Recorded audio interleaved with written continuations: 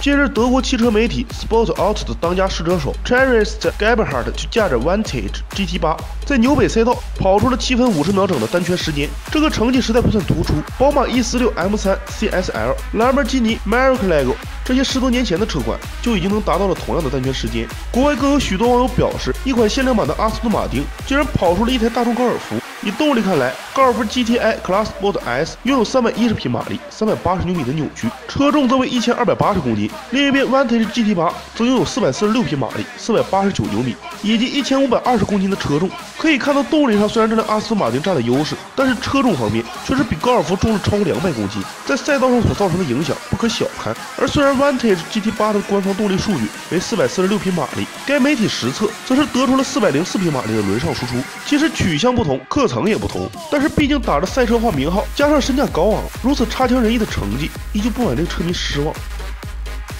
本期内容由天下有车整理创作，欢迎大家留言及讨论。